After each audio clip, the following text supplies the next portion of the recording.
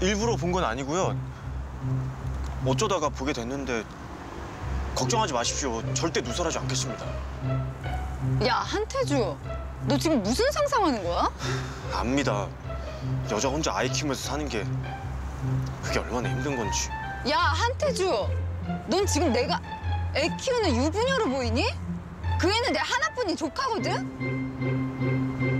아, 조, 조카. 하여간 못 말려. 맞추고 엉뚱한 소리 하는 데는 타의 추정을 불하는구나. 다시 영수증 붙여야겠다. 부장님 그건 좀. 참나. 내 뭐, 참, 기가- 아, 어쩐지 좀 닮았다고 했어요. 그쵸? 거짓말하지 마. 우리 다빈이가 얼마나 예쁜데. 왜요? 부장님도 엄청 미인이세요. 들어온다. 사원이 부장한테 죽을래? 이러십니까? 이웃 사촌끼리. 뭐야? 이웃 사촌? 맞지 않습니까? 여기는 회사 바뀌고, 네? 홈그라운드 아닙니까?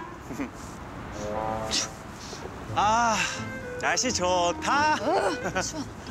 아, 부장님, 아, 좀 같이 가요. 어머 좀 절로 좀 가.